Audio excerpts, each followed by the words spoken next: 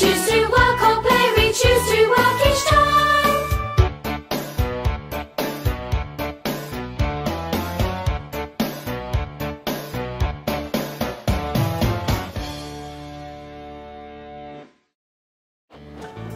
It was a grey, cloudy day on the island of Sodor. Percy was taking Alfie and Jack to Kronk Station, Jack and his friends were going to prepare the site for a new repair shed. But rain had made the site a muddy, mucky mess. Mud can be dangerous, warned Miss Jenny, so remember, safety first, said Byron proudly. And that means no carelessness, Max and Monty. Yes, Miss Jenny, they clattered. Jack and Alfie were having a wonderful time. Alfie liked mud, and this was the muddiest mud he had ever seen. Mud, glorious mud!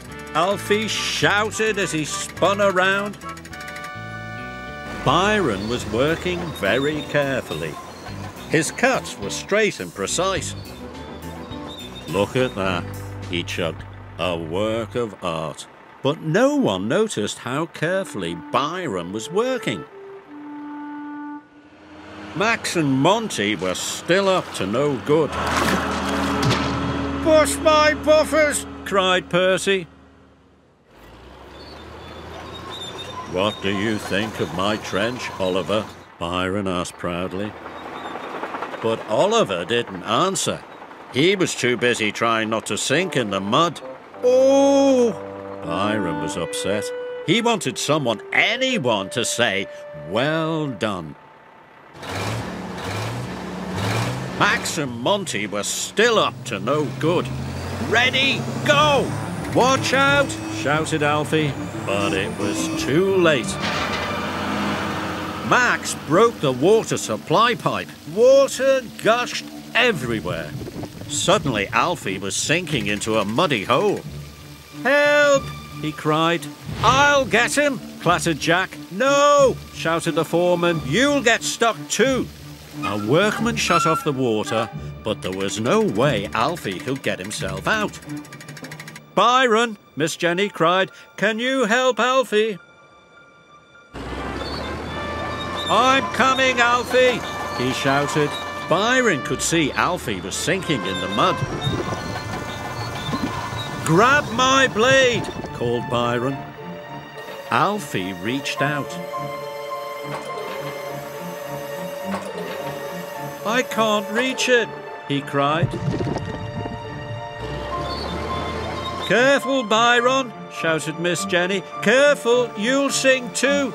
But Byron inched closer and closer and closer.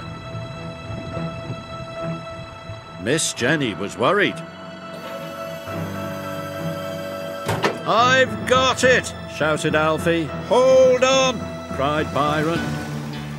Come on, Byron, Kelly whispered. Byron struggled and pulled and strained.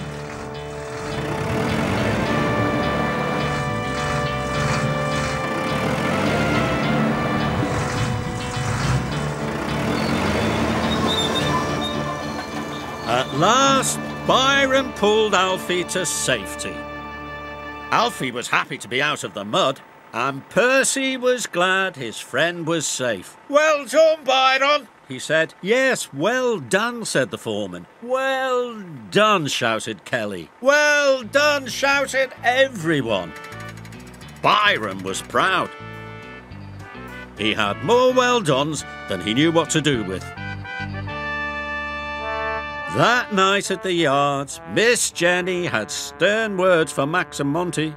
You'll be spending the next three days in your sheds, she said, and you should be ashamed of yourselves. You could have seriously hurt someone with your carelessness. We're sorry, Miss Jenny, said Monty and Max. And they truly were.